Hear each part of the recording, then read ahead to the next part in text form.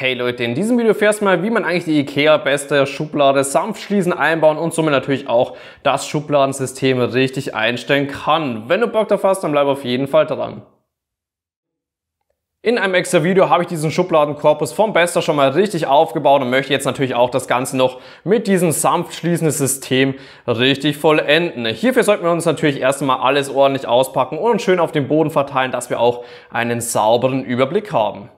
Zuerst einmal müssen wir in die Anleitung schauen, dass wir auch die richtigen Abstände der Schiene herausfinden. In meinem Fall habe ich zum Beispiel die Schublade mit der großen Front, bedeutet, ich muss mich auch mal nach dieser Zeichnung hier richten und die Löcher einfach von unten nach oben abzählen. Das Ganze ist jetzt bei mir kein Problem, da ich meine erste Schiene sowieso ganz unten hier in die ersten Löcher hineingeben werde. Zuerst mal benötigen wir pro Seite jetzt so eine kleine stumpfe Schraube hier und nun geht es nämlich darum, dass wir mal unser Schienensystem mit dieser Schiene hier hinten auch richtig zusammenschrauben. Hierfür nur darauf achten, dass die Schiene mit diesen wellenförmigen Zeugen nach unten schaut und dieser kleine Haken, der muss auch in unsere Richtung gehen. Bedeutet, da kann ich jetzt nämlich auch schon mein Schienensystem ganz einfach drauflegen und darauf achten, dass auch dieser Haken bei dem System nach hinten schaut. Danach müssen wir eigentlich nur noch richtig abzählen, bedeutet mal, hier ist das Gegenstück, wo ich gleich diese Schraube auch reindrehen werde und hier hinten, da haben wir die Löcher und da müssen wir einfach nur darauf schauen, dass wir von rechts mal gesehen das zweite Loch verwenden, wo ich das Ganze jetzt gleich auch entweder mit einem Schraubendreher oder wie in meinem Fall mit einem Akkuschrauber, den ich gerne für den Möbelaufbau auf die Drehmomentstufe 5 stelle, richtig festdrehe.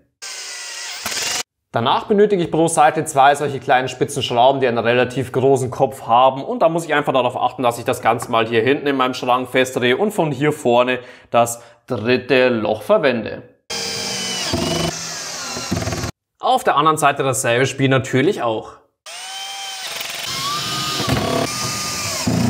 Wenn alles passt, kann ich meine Schublade auch schon mal in die Schienen hineingeben und da müssen wir eigentlich nur darauf achten, dass wir bei unserem Schubladenkorpus hier hinten jeweils so ein Loch haben und dieses Loch muss auch in den Haken hier hinten bei der Schiene richtig reingehen. Hierfür am besten wirklich die Schublade mal etwas schief halten, schauen, dass sie auch richtig in die Führung reingeht und dann kann ich nämlich mit einer Hand auch schon mal hier hinten reinlangen. Das erkennt man in der Kamera leider relativ schlecht und jetzt schaue ich einfach, dass ich mal den Haken per Hand auch in dieses Loch auf beiden Seiten ganz einfach hineingebe und lasse meine Schublade auch schon vorne nach unten.